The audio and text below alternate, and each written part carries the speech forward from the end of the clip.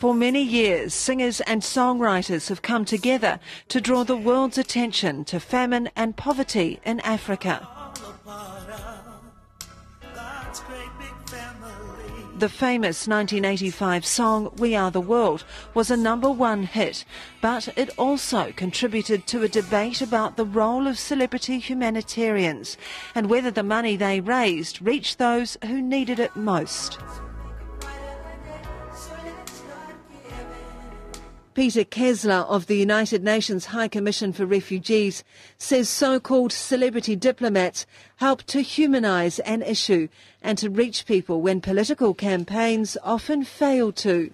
As we saw with Princess Diana when she first held the hand of a of an AIDS victim, you know, it's spreading that message that these people are safe, they're not a threat, they're threatened, and you also can reach out to them in your way. You don't have to be a VIP celebrity. We face a convergence of crises. Actor Leonardo DiCaprio's cause of choice is climate change. His documentary, The Eleventh Hour, gave him what he says he was searching for the opportunity to gain a sense of purpose. You know, for me, watching the sort of cultural understanding of the issue now is in itself encouraging. Baroness Caroline Cox, a member of the House of Lords, is one of Britain's prominent humanitarians. She has spent decades travelling to raise awareness of the poor and oppressed in countries like Burma, Uganda and East Timor. She says she is accountable for every cent of her charity's $650,000 budget, but questions some of the other efforts. I would just like a little bit more knowledge, transparency, accountability as to where a lot of that money goes and what proportion really gets down to the dying child. I know with our little organisation what a huge difference we can make with a little bit of money. I'd like to know where the big budgets go.